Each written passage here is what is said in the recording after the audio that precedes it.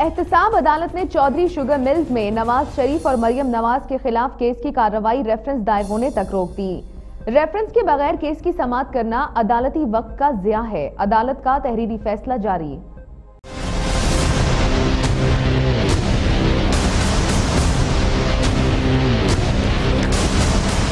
लाहौर की एहतसाब अदालत के एडमिन जज जवादुल हसन ने सबक वज़ीर आज़म नवाज़ शरीफ और मरियम नवाज़ के खिलाफ चौधरी शुगर मिल्स केस का तहरीरी फैसला जारी कर दिया। अदालत ने अपने फैसले में कहा कि नवाज़ शरीफ, मरियम नवाज़ और यूसुफ अब्बास की लाहौर हाईकोर्ट से जमानत मंजूर हो चुकी है, जबकि नैब की जानब ऐसी चौधरी शुगर मिल्स का रेफरेंस अभी दायर नहीं किया गया। रेफरेंस के बगैर केस की समाप्त करना अदालती वक्त का जिया है। एहतसाब अदालत ने अपने फैसले में केस की फ़ाइल रिकॉर्ड रूम भेजने का हुक्म देते हुए करार दिया की तीनों मुलजिमान को रेफरेंस दायर होने पर तलब किया जाए।